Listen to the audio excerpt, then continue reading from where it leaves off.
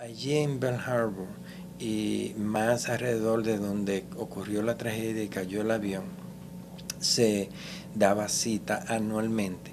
los familiares porque allí es que ellos habían perdido a sus seres queridos. Y eso eh, siempre se percibió y se percibe eh, como eh, un lugar sagrado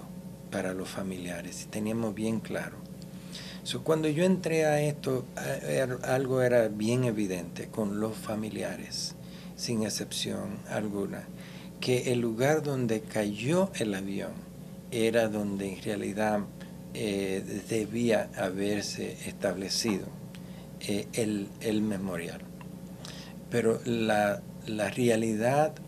para la comunidad donde cayó este avión eh, también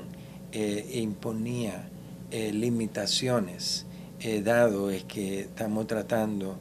de un contexto donde hay propiedad privada, donde es un vecindario donde viven familias que, llevan generaciones y generaciones. Lo irónico que hay un vínculo eh, que conecta lo que es el Alto Manhattan de donde salió la mayoría que iba en el avión y donde cayó el avión en Bell Harbor. Y es el tren A. El tren A se inicia en la 207 con Broadway, en el corazón de la comunidad dominicana, en Inwood, que conecta Washington Heights e Inwood con Bell Harbor. En Bell Harbor es la última parada del tren A eh, es decir, que eh, hay un vínculo